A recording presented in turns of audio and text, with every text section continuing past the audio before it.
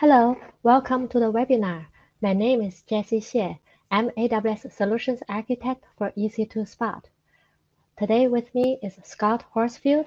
He's the worldwide EC2 scalability lead.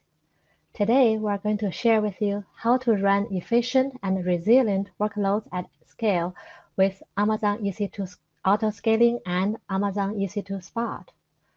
So you may ask questions by typing in the chat, or you could wait until the end the Q&A sections. So today we have three learning objectives. The first one is to learn how to build resilient workloads with EC2 autoscaling and EC2 Spot. Second is to learn how to optimize auto scaling groups with multiple instance types and purchase options. The last goal is to learn how to configure auto scaling groups to access new EC2 features. So let's begin with reviewing the current available EC2 purchase options. Most of our customers start with on-demand purchase option. That, that is for spiky workloads. You pay for the compute you consume by the second. There's no long-term commitment. If you do have long-term commitment and you have predictable and steady state usage, you may be able to take advantage of the significant discount up to 72% off compute by using the savings plan. And for those short-term spiky workloads, that is also fault-tolerant, flexible, and stateless, it's good to use Spot instances. Spot is a spare EC2 capacity that offers you up to 90% off on-demand price. So spot instances are perfect for those fault-tolerant and flexible and stateless spiky workloads because you can achieve a significant discount. And this is great for those workloads like containers, big data, CI/CD, batch, web services, machine learning, and high performance computing. This is a very important to understand that Spot, because Spot is a spare capacity, and Spot and on-demand are sharing the same instance pools. So this is a fundamental concept to understand how these pools work. An instance pool is a collection of identical EC2 instance types. So in this example, we're using C5 as a, in the compute family, fifth generation.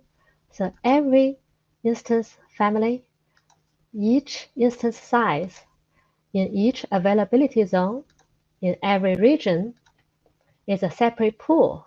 So they are independent of each other.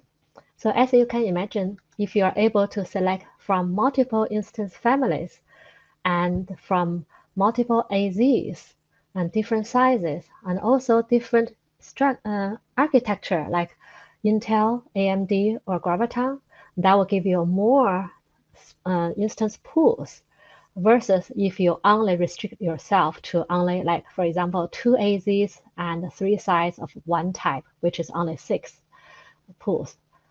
So the more instance pools you select, the more chances you will be able to allocate and launch your instances and see less interruption rate. Because the nature of Spot, this is a spare capacity, this means whenever the EC2 needs the capacity back, AWS will reclaim the spot instances, and AWS will give you a two minutes warning ahead of time. So this warning will be arrived in the instance itself, metadata in the event bridge. And you can um, preset your behavior, how to handle those uh, interruptions. You can either set it to be terminate or stopped or hibernate. So in the past three months, we have observed that less than 5% of spot instances were interrupted.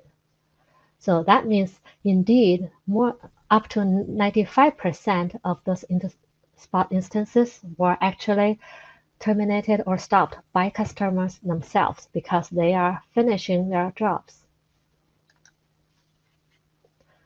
So that said, it's very important that your workloads are very flexible, fault tolerant, and flexible. So flexible is the key to successful spot adoptions. That in terms of instance, time, and region. If you're able to select multiple instance types, like I mentioned earlier, from different family, generation, sizes, and infrastructure, then you will have a more chance of building up a resilient clusters of different instance types. And, and also, if you are able to be time and location flexible, overall, you will see less interruption and you can maximize your application uptime. So there are three allocation strategies to help you to select and launch EC2 instances. So I will go do an overview and Scott will cover much more in details later. So the first one is for on-demand type. For on-demand, we have prioritized list allocation strategy. So this you will first put in the override list of your prioritized list of uh, preferred instance type you want to allocate in the order of preference. And then this strategy will launch in the order to uh, according to these uh, selections. So for example, you have R5 large as the first one and M5 large as the second one. Then this allocation strategy will launch according to the priority order. First, R5 large, second, M5 large. This is the strategy for spot instances we recommend this capacity optimized allocation strategy as the spot best practice because this, this strategy will pick the instance from the deepest pool of what you preferred uh, instance types that you listed in the override, override list. So in this case, you see the list, you put three instance types, but the order does not apply because again, this is using the capacity optimized strategy to do the selection. In this example, in the first AZ, the US East 1A, the longest bar refers to the deepest pool. Because the R5 large is the deepest pool, therefore this allocation strategy will pick this R5 dot large to allocate for the first AZ. And then move on to the second AZ and pick whatever the deepest pool in there, which is the M4 large. The next allocation strategy for spot is lowest price. For this strategy, you can define the numbers of the pools you wanted to pick from. So this strategy will pick the lowest price from the number of the pools you select out of the list of instance types you put in the override list. So in this example, like a $1 sign means the lowest price, the $2 sign is the second lowest price, and because we defined for two pools, therefore for 1A, it will load, uh, launch the R5 large and M4 large. And then for the second AZ1B, it will pick the M5 large and R5 large because those are the two lowest priced.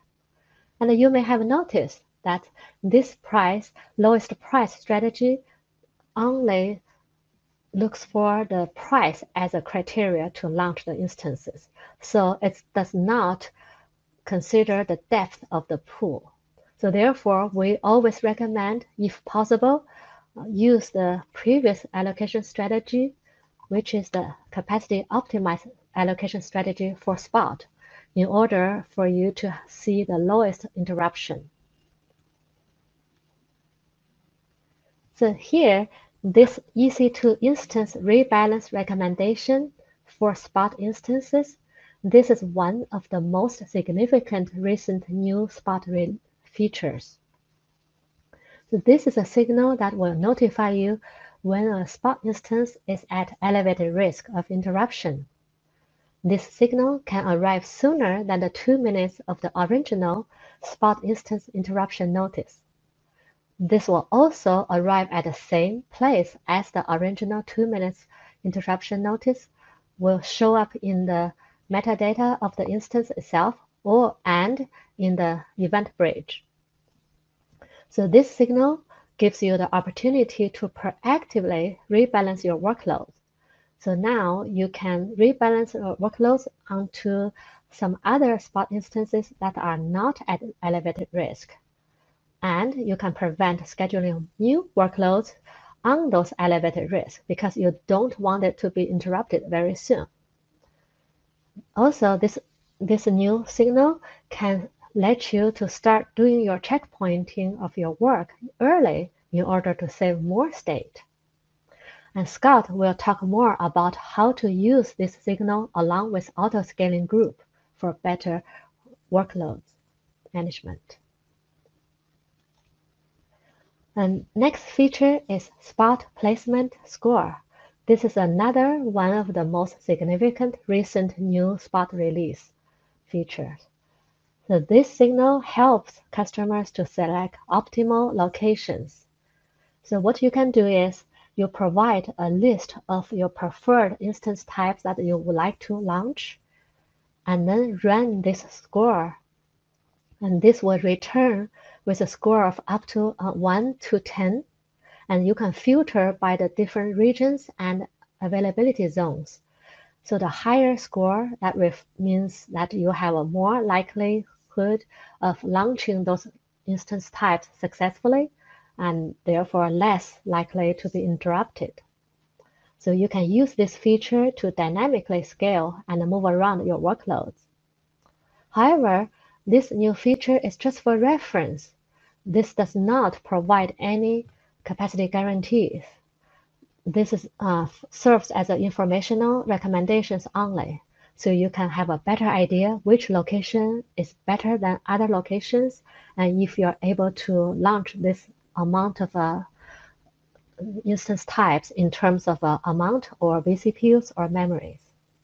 So overall, we highly recommend you to always remember to apply all the spot best practices, including using all the availability zones in each region and be very flexible. Not only your workload must be fault tolerant, flexible, and uh, uh, also you need to be very flexible in the instance types itself. Select from multiple different family, different sizes, different generation, and different infrastructure of uh, Intel, AMD, or ARM. And also, if you are be able to be time and region flexible, that will be all adding to your success of adopting EC2 Spot to achieve cost optimization. So now let me turn over to Scott, who will be talking about auto-scaling. Hey, thanks, Jesse. That was a great overview into the best practices for requesting uh, EC2 capacity, either spot instances or on-demand instances. Uh, so now that you have an overview of how to do that, we're going to dive into a bit more detail and go over some best practices and features that you can start to take advantage of in your auto-scaling groups today to bring more resiliency and efficiency to your workloads. Specifically, we're going to cover five best practices and the features around those best practices that can help you build more resilient workloads at scale. First, we'll cover launch templates and mixed instances policies and dig into a bit more detail about what those are. We'll talk about enabling capacity rebalancing which helps you take advantage of that rebalance recommendation signal that Jesse covered and proactively replace instances that are at an elevated risk of interruption.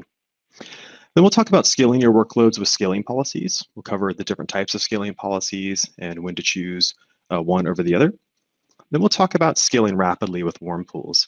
So how you can have pre-initialized capacity available to your auto-scaling group so that you can scale more quickly. Lastly, we'll talk about automating deployments with instance refresh.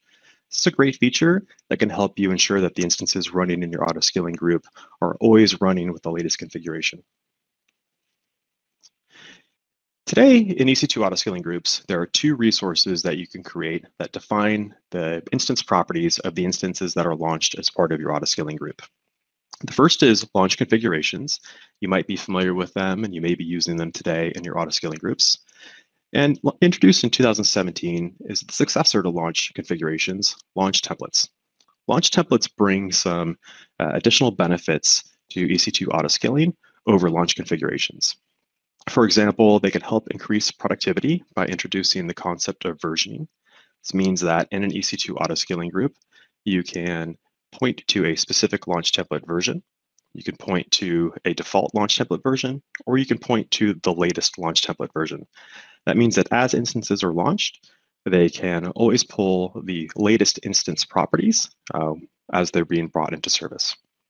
They also introduce a simplified permission model, meaning that you can create IAM roles and policies that restrict different teams within your organization uh, from launching instances that do not adhere to specific launch template parameters. This can help with governance and just ensuring that best practices are followed in your environments. They also provide a consistent experience across uh, multiple services, unlike launch configurations. So you can use launch templates across EC2 autoscaling. You can also use them with EC2 Fleet or some of their other APIs for launching instances. And you can use them across other AWS services such as AWS Batch. But the most important thing that they introduce is the concept of mixed instances policies and the ability to combine multiple instance types and purchase options when configuring autoscaling groups. So with mixed instance types and purchase options, this means that you can implement the best practices that Jessie covered in her section in a single autoscaling group. Prior to this, you had to create multiple autoscaling groups if you wanted to combine spot instances and on-demand instances, but now you can combine those into a single autoscaling group. Um, combined with that, autoscaling groups also have a number of features that can just help you maintain a more resilient and efficient and fault-tolerant workload. For example, the replacement of unhealthy or interrupted instances. So as instances are interrupted, because EC2 needs capacity back, uh, the autoscaling group will automatically replace those instances for you so that you don't need to do any sort of heavy lifting to ensure that, that you have uh, the number of instances running for your workload uh, that you need at any given time. You can also perform health checks and ensure that the instances running as part of your autoscaling group are healthy. Uh, the autoscaling group will also balance your capacity across availability zones. So when you configure an autoscaling group, we recommend that you configure it to uh, ha have access to multiple availability zones. And the autoscaling group will handle launching instances balanced across those availability zones so that you have a fault tolerant and highly available application. They also integrate with Elastic Load Balancers. So if you have an application that is hosting a, a, web application or maybe an API and you need to have your customers access that service through a load balancer, autoscaling groups can automatically handle the registration of load balancers for you. They also have some additional features uh, that help with just managing the overall lifecycle of instances. Lifecycle hooks, for example, give you the ability to tap into the instance launch and termination process and perform custom actions. So for example, if you need to ensure that an application is completely installed and running uh, and healthy before that instance is brought into service, you can create a lifecycle hook, execute some custom code, and ensure that that instance is brought into service in the right state. We also have some features like termination policies and instance termination protection to just ensure that during scale-in events, the right instances are terminated, and we don't terminate instances that are maybe performing work or processing uh, data as part of your application. And one of the best features is that they give you access to scaling policies. So many customers use auto-scaling groups with a static capacity, um, but we do recommend customers look into implementing scaling policy to really take advantage of elasticity. So the ability to scale up and scale down based on the demand that's placed on your workload. And we'll talk a bit more about scaling policies here in a moment. So again, just to recap some of these changes, uh, before launch templates uh, and the introduction of mixed instances policies, if you had uh, a need to follow some of the best practices that we've been talking about and wanted to um, combine M4 spot instances, for example, and M5 large spot instances, and C4 large on-demand instances, you needed to create three separate auto-scaling groups, and you needed to manage the, um, the routing of traffic between the applications hosted within those auto-scaling groups. With the introduction uh, of launch templates and mixed instances policies, you can do that with all within a single auto-scaling group. So this can significantly simplify uh, your workload and ensure that your workload is following the best practices, and also give you the opportunity to start to optimize in ways that you haven't optimized before. So start to introduce spot instances in a safe and controlled manner. We'll talk more about how you can do that. Uh, but then also, you know, think about uh, what types of instances can my workload run on, and add more instance types to your uh, auto-scaling group configuration so that if there is any sort of capacity issue, you always have a fallback option that you can use to, to launch your instances on. So next is capacity rebalancing. So Jesse talked uh, about a, a, feature called a rebalance recommendation signal. So this is a signal that's emitted um, when we detect that an instance is at an elevated risk of being interrupted. So if you're running spot instances, you may be familiar with the spot interruption notification. This is that two minute warning that that instance is going to be interrupted uh, and is going to be reclaimed by EC2. The rebalance recommendation signal can come in advance of that and give you kind of a heads up warning that, hey, we, we think this instance is at elevated risk of being interrupted. Now, autoscaling groups can capture that signal and then automatically, proactively replace the instances that are at an elevated risk of being interrupted. So what this means is as that signal is detected by the autoscaling group, the autoscaling group can launch a replacement instance. Uh, it can execute any lifecycle hooks or any um, configuration or pre-initialization actions that you have configured for that instance, bring that instance into service, and then terminate the instance that was at an elevated risk of interruption. It'll automatically handle things like deregistration and registration with load balancers. And when it launches the replacement instances, it uses the allocation strategies that Jesse covered, um, specifically, uh, for example, using capacity optimized allocation strategy. So if an, instance is at an elevated risk of interruption, you want to ensure that the replacement instance uh, is not going to be at an elevated risk of interruption. So that capacity optimized allocation strategy allows us to use real-time capacity insights to launch instances from the deepest capacity pools available. Um, let's kind of go into how this all comes together in, in the form of uh, an EC2 auto-scaling group configuration. I'm going to show how this might look if you were creating a CloudFormation template uh, or um, some sort of, uh, you know, configuration file that you were going to use uh, for an API call to create an auto-scaling group. But these same concepts apply if you're using the AWS console. So first, in your auto-scaling group configuration, you want to add a mixed instances policy. So this allows EC2 to combine spot instances and on-demand instances and create uh, an override list of instance types that are uh, acceptable to your workload. And you want to provide that override list as many instance types as you can that you think your workload can successfully run on. So for example, in this configuration, you know, we have a workload that we know runs on C5 largest, but there are other instance types that have a similar memory to CPU ratio that our application can also run on. So we add those instance types to the list so that our spot allocation strategies can look across all of those instance types to launch instances from the deepest capacity pools available, but also so our on-demand prioritized allocation strategy um, has the option of uh, retrying instance launches um, by crawling down that list and, and launching instances in the order that they're provided. So this is a great way for both spot instances and on-demand instances. Uh, and you can use this to just create more resiliency within your workload. Now, in the mixed instances policy, you configure some options around capacity, and you do this in the form of an instances distribution. So spot instances and on-demand instances are, um, are, the capacity for each of those is handled independently of each other. And you do this in the form of, of three parameters. So you have an on-demand base capacity. So this is the, the number of on-demand instances that are going to be launched to achieve the autoscaling group's desired capacity first. So here we have an autoscaling group that has a desired capacity of 12 and an on-demand base capacity of three, meaning the first three instances as the autoscaling group tries to fulfill capacity up to that 12 are going to be on-demand instances. Then you have an on-demand percentage above base capacity. So this is the percentage of instances above that base capacity that will be on-demand instances. And in this case, we have 25%. So our auto-scaling group has a desired capacity of 12. The first three instances are going to be on demand. Then 25% of the remaining instances will be on demand. The other 75% will be spot instances. And then you have a spot allocation strategy. And here we're showing the best practice that we recommend customers implement, which is using the capacity optimized allocation strategy. So what this configuration does is it, is it gives you an auto scaling group that has a on-demand base capacity. Um, that base capacity is covered uh, you know, by on-demand instances, and then you can use something like savings plans to further optimize the cost of those on-demand instances. And then as that auto-scaling group scales up, it's going to scale up with spot instances.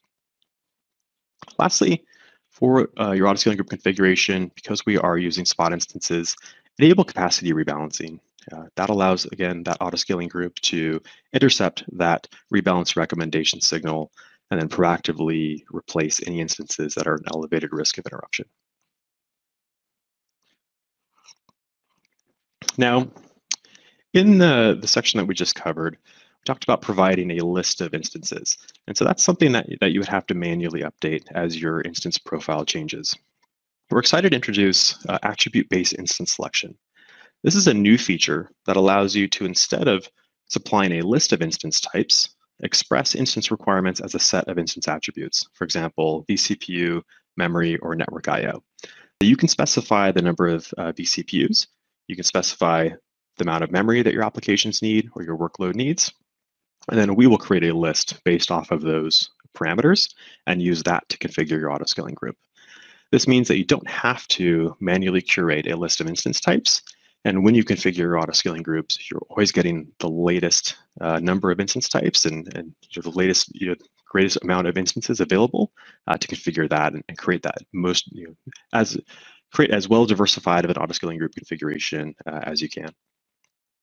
So uh, if you have any instance types that you absolutely do not want to use, so if you, if you know, for example, that your application uh, just has issues with a specific instance type, you, you, do have the ability to exclude instances from the results of uh, results of what's selected uh, by the by uh, attribute-based instance selection. So you have full control over the instances that you're running, uh, but this can reduce the amount of hands-on time that you need to spend maintaining your auto-scaling group configurations. Next, we're going to dive into how you can scale your workloads with scaling policies. So I mentioned that many customers have auto-scaling groups that have fixed capacity, or maybe they manually update capacity as their needs change. But we have some scaling policies that are available that can automate that process for you, either in response to traffic or in response to, to known events. Let's dig into those in a bit more detail. Now we're going to go over the types of scaling policies that are available to you to maintain the EC2 capacity within your EC2 autoscaling group. First, I'm going to talk about two policies that we refer to as dynamic scaling policies. Now, these are scaling policies that are reactive in nature. This means is that um, in response to different CloudWatch metrics or alarms, um, capacity is added or removed from those autoscaling groups. The first types of these policies, simple or step scaling policies, allow you to manually calculate your capacity and allow you to create policies that have fine-grained control over the number of instances that are added or removed to your auto-scaling group in response to different uh, CloudWatch events or, or alerts, or CloudWatch metrics or alerts.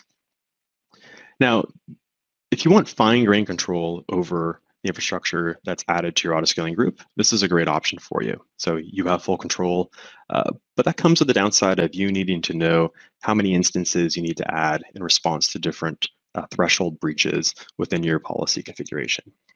So you need to know as uh, your application load or receives more load that five instances is going to be enough to, um, to uh, support the load that's being placed on that auto-scaling group. Now, if you want a more automated experience, uh, we recommend looking at target tracking. So target tracking brings a more thermostat-like control uh, mechanism to your scaling policies. So rather than having to manually calculate capacity and manually define those steps, you provide a customer-defined target, and the auto-scaling group and the scaling policy will automatically add or remove instances to maintain that target. So for example, if you wanted uh, the instances in your auto-scaling group to have an average of 60% CPU utilization, you would define that as a target, and the auto-scaling group would automatically add or remove instances to achieve that target. The next type of scaling policy is scheduled scaling. So this is a more proactive way to um, add capacity to your auto-scaling group. Many customers use this um, as a way to add capacity in advance of events. So for example, if you have a product launch, or if you have a data load or some sort of known process that's going to execute at a specific uh, time, you can create scheduled scaling events and have capacity added to that auto scaling group in advance of those events. This is a more proactive way, again. So this is uh, instead of reacting to CloudWatch metrics and CloudWatch alerts, you are adding capacity in advance of the load being placed on your workload so that you're confident that your application can handle that load.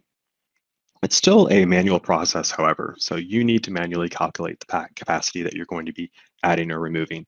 You need to you know, do work to ensure that uh, you um, keep those numbers updated over time as your load profile changes. So if you're experiencing growth within your products, you need to ensure that you're going and updating your scheduled scaling policies uh, to increase or decrease the number of instances uh, that are being added or removed.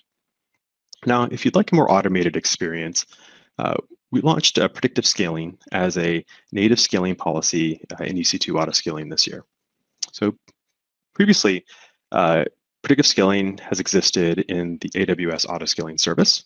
It's now available in EC2 auto scaling as a native scaling policy. Now, what predictive scaling can do is it can look at historic load patterns on your auto scaling group and the resources within your auto scaling group, and then calculate and forecast the capacity needed to uh, meet those load patterns in the future.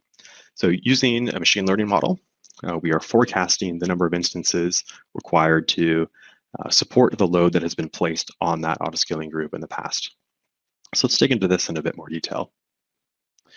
So predictive scaling policy proactively manages capacity for you. So it looks at those historical trends and then it adds or removes instances based on those historical trends.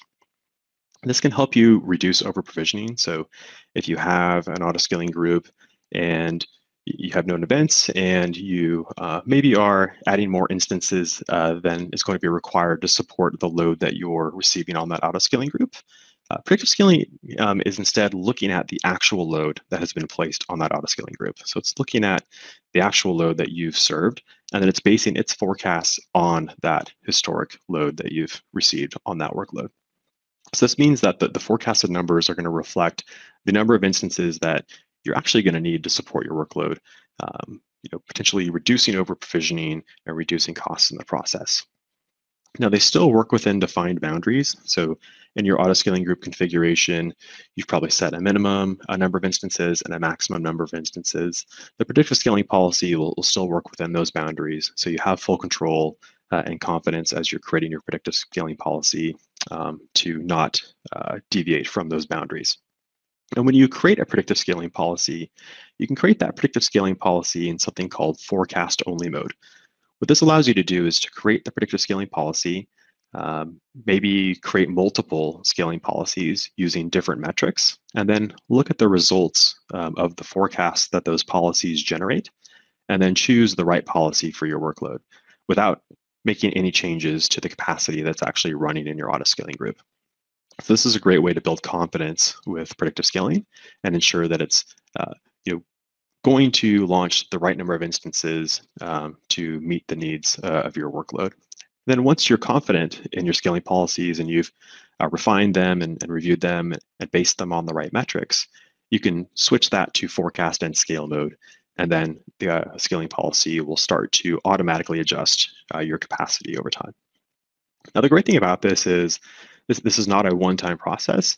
Predictive scaling is always learning uh, based on the load that's being received from your workload. So as your uh, load profile changes over time, your predictive scaling policy is able to adjust its forecasts over time, uh, ensuring that you don't need to go and manually update uh, your scaling policies. You don't need to go back and uh, revisit the configuration and number of instances that you've configured. Uh, it's going to do that automatically over time for you. Now, some use cases where we see customers taking advantage of predictive scaling, recurring load spikes. So if you have known patterns um, of load that are being placed on your workload, uh, this is a great way to um, scale in advance of those, um, those spikes, uh, but doing so in a very uh, proactive and automated fashion. We also see customers using this as an alternative to manually scaling.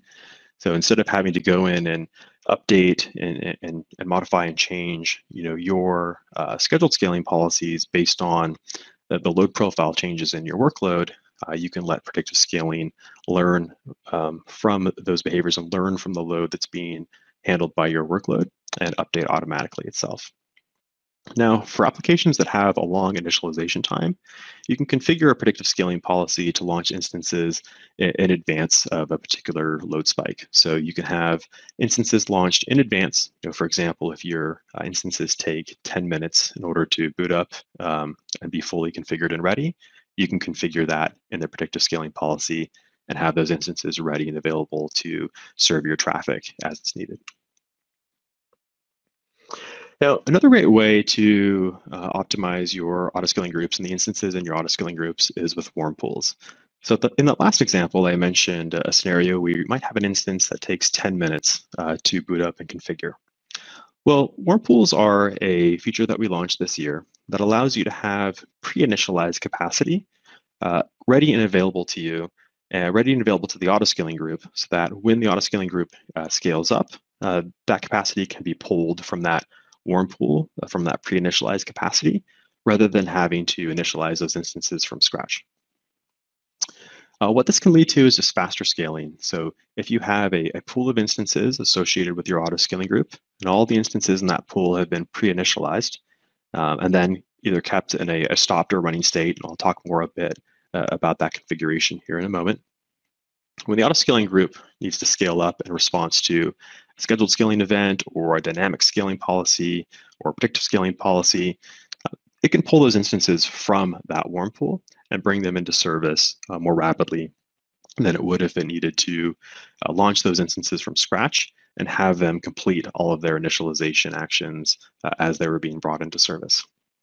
Now, this can help you just increase uh, the elasticity of your workload. This is an important concept to consider you know, the faster you can bring instances into service, the faster you can respond uh, with those reactive scaling policies uh, to the traffic demands that are being placed on your workload. It also helps uh, reduce underutilization. So uh, to get around long boot times um, for workloads that have them, some customers over provision their auto scaling groups and launch more instances than they need to uh, in order to um, buffer themselves from needing additional instances but not wanting to incur the cost of long pre-initialization times. So because those instances are already pre-initialized and they can be brought into service faster, you can run your autoscaling groups with the true capacity needed to serve traffic at any given point in time, but with the confidence that you can bring instances into service rapidly as you need them. Now, these help um, just create more accurate scaling metrics in your autoscaling groups. So the instances that are in the warm pool do not contribute to the autoscaling group metrics uh, of the instances that are running in your autoscaling group.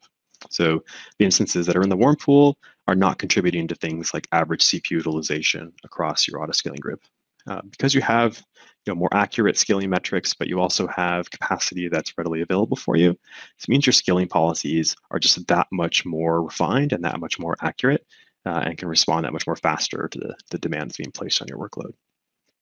Now, you might be running, you wondering, you know, if I have this pool of instances available to me, uh, how, how, does that save me money? Like, how does that help, you know, me op optimize my cost or, or optimize my efficiency? Well, you can keep those instances in either a running state or you can stop them. So you can have instances pre-initialized and then stop those instances once the pre-initialization has completed uh, and no longer pay for the running compute cost of those instances. Now, when instances are launched, in an autoscaling group that has a warm pool configured, uh, they're going to be launched and then launched into the warm pool first.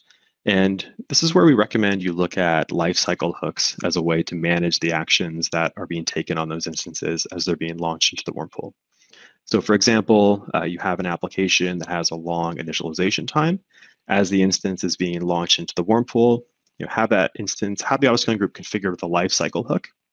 And then as that instance is launched into the warm pool, you have the option through that lifecycle hook to uh, configure uh, the application, uh, do any sort of installation or just health checking or, or anything that you need to do to ensure that that uh, pre-initialization is complete, and then um, mark that lifecycle action is completed so that it, the instance can be brought into the warm pool and then stopped. Then as the instance leaves the warm pool and moves to the autoscaling group, you, you still have access to that lifecycle hook as well. So that means um, as an instance is launched into the warm pool, you can ensure that it's, pre-initialized and configured. And then as an instance is moved from the warm pool into the auto scaling group, you can ensure that your application is started and is healthy before it's brought into service. Now, uh, once configured, these are very easy to maintain. Uh, we do you know, all, all, the work to launch instances into the warm pool and ensure that that warm pool has the number of instances in it that you've defined. And we'll, we'll talk more about those parameters here in a moment. Uh, so there's not a lot of operational overhead that you need to worry about for maintaining the instances in that warm pool. Now, some use cases that we see customers using this for, uh, firstly, Windows AMIs. So if you have Windows applications um, that maybe need to do something like a domain join, you could have those instances launch, do the domain join as they're entering the warm pool, and then stop those instances that you're saving on cost, but have those instances readily available in the warm pool so that once your auto scaling group needs to scale up, the instances that are already domain joined, already configured, already pre-initialized can be brought into service. So that can really help speed up the launch time of instances um, for some of those workloads where you have just those long pre-initialization times. Also useful um, for workloads where you have large AMIs. So if you're baking large AMIs that have a lot of custom configuration, uh, maybe some commercial software, a lot of custom code within them, and they're very large, um, just having those already initialized, already launched, um, and already ready uh, but in a stop state or, or, a running state if, if your use case uh, necessitates that. Um, just help you speed up that launch time even further. Uh, and then lastly, custom scripts. So if you have uh, you know, a user data script that's performing a lot of pre-initialization actions, you can have all of those pre-initialization actions completed and those instances uh, available to be brought into service rapidly. So here's an autoscaling group that's can be been configured with uh, an EC2 autoscaling warm pool. So our autoscaling group and our warm pool configuration are, are kind of separated into two buckets. So we have our autoscaling group configuration, and here we have an autoscaling group with a desired capacity of three, a minimum capacity of three, and a maximum capacity of 10. So as this autoscaling group is created, uh, initial instances are launched, we should get three instances balanced across the three availability zones that we've configured for this autoscaling group. Now we've also configured a warm pool for this auto-scaling group. We specified a pool state. So this is the state that instances are in uh, within that warm pool. And today that is uh, the running state or the stop state.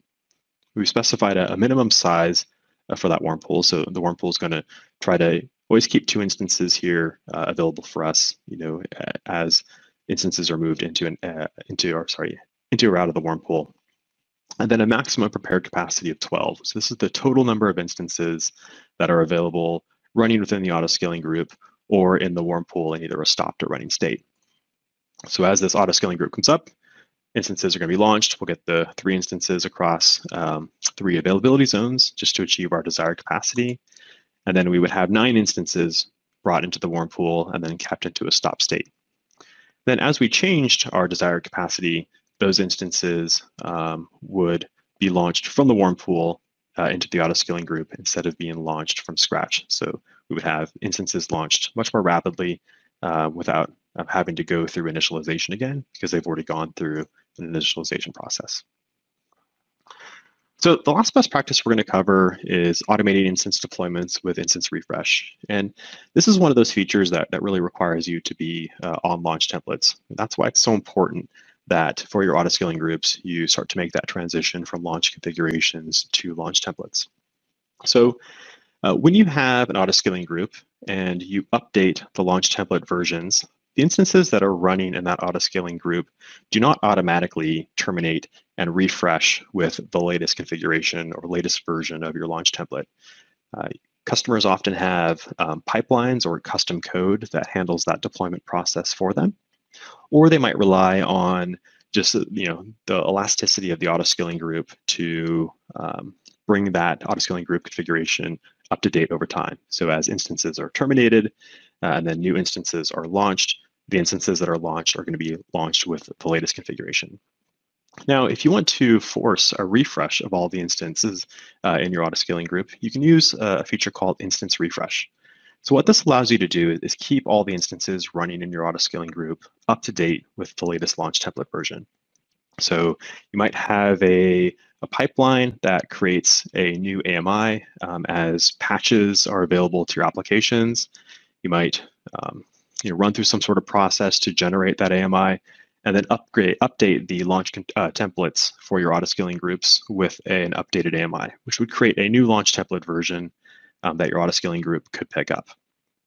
Now you can force that refresh using this feature, and that can allow you to get out of having to have custom code or custom pipelines um, that you manage and that your teams create and have to update and support uh, to handle that refresh for you. So you have full control over the entire uh, refresh process. So you can always ensure that you have enough instances running in your auto scaling group to, uh, to keep your workload um, in the state that you want it to be in to serve the traffic that uh, you're experiencing. So you can specify parameters like a minimum healthy percentage uh, to just ensure that you have a, certain number of instances always available uh, in that auto scaling group. You can configure an instance warm-up time, so just how long does it take uh, for your instances to initialize. And then if you need further control, you can configure something called checkpoints. So without checkpoints enabled uh, with a configuration, um, as we see here in this screen, uh, the instance refresh would just run until it was completed. So it would run until all the instances in that auto-scaling group were refreshed. But for some customers, they want more control over that refresh process. So we introduced uh, checkpoints. What these allow you to do is, is create percentage-based um, thresholds or phases uh, for the instance refresh process, meaning that you could uh, work through your instance refresh maybe in thirds. So you could have uh, the first third, uh, you know, of your of your total EC2 capacity in your auto scaling group refreshed. Then an event would be emitted to EventBridge. You could respond to that event um, either in an automated fashion through something like a, a Lambda function, or you could have that event send a notification through an SNS topic to let somebody know that they needed to do some sort of uh, manual evaluation of the deployment or the refresh process. And then you can tell the instance refresh to continue. So that just gives you the ability to kind of work through an instance refresh in phases rather than waiting for the instance refresh to run from start to finish and just replace all the instances in one, in one fell swoop. So wrapping up, let's go over some of the, the lessons that uh, that uh, we hope you learned today and some of the best practices that we recommend that you take back to your workloads and start to implement. So first, you know, use launch templates and mixed instances policies uh, not just to combine purchase options, but also to take advantage of the latest EC2 uh, features and auto-scaling group features. So launch templates, those are going to give you access to things like instance uh, refresh, but they're also going to give you the ability to diversify the instance types that you request in your auto-scaling group. So we recommend if you're running launch configurations today, look into ways that you can start to, to migrate to launch templates. Uh, in the EC2 console, uh, there is a button available to you to copy your launch configuration to a launch template. So it should be a, a, pretty simple and automated process for you to do that. Once you've done that, you know, lean on spot instances to start to introduce um, you know, optimization and efficiency to your workloads, especially for those workloads that are fault tolerant, flexible, uh, or stateless. So your containerized workloads, your big data workloads, your CI/CD pipelines, uh, your HPC workloads, your batch workloads. Um, look at those and look for opportunities to introduce spot instances. And you can use the mixed instances policies and the instance distribution to safely introduce spot instances in a way that you're comfortable with into those workloads and start to really uh, gain the benefit of that savings uh, up to 90% off of on demand. Now, as you start to introduce spot instances, take advantage of the allocation strategies, especially the capacity optimized allocation strategy, to ensure that the instances that you're launching are always from the deepest capacity pools available. So really important that, uh, that you leverage those best practices um, just to ensure that you're reducing the chance of being interrupted uh, for your workload. Then enable capacity rebalancing. Let the auto scaling group intercept that rebalance recommendation signal and um, proactively replace instances that are an elevated risk of interruption. Also, start to look at ways that you can introduce scaling policies into your workload. So if you have a workload today and you're manually updating capacity or changing capacity based on known events, maybe you can introduce predictive scaling uh, let predictive scaling start to learn those traffic patterns and, and take that heavy lifting off of you so that you and your teams can focus on other activities. Um, take a look at warm pools. This is a great way to have a pool of pre-initialized instances ready, um, especially for those workloads that have a long pre-initialization time. So again, those, those Windows workloads or those large AMIs or the workloads where you're running uh, user data scripts that um, apply you know, desired state configuration using uh, you know third-party tool. So just look into those workloads where you have those long initialization times and start to use warm pools as a way to um, offset the initialization time. And that'll allow you to be more elastic and, and, start to leverage scaling policies in a way that you couldn't before uh, because you knew you couldn't bring instances into service fast enough. And then lastly, you can start to remove some of the, the manual code that you've created or, or the, the custom code that you've created for uh, managing deployments and start to look at automating those deployments with instance refresh. So again, once you've taken advantage of launch templates, and you've updated your processes to, to create new launch template versions as changes are made to your configuration, you can automate the refresh of the instances in your auto scaling group in response to that. So with that, we really appreciate you coming out today and, and listening to this webinar. We, we hope you've left this webinar uh, understanding how you can take advantage of EC2 spot instances and EC2 auto scaling groups to really create and, and manage resilient and efficient workloads on AWS. With that, we'd like to open it up for any questions that you might have, and we'll stick around and make sure that we get uh, those answered for you. So appreciate it, and thank you very much.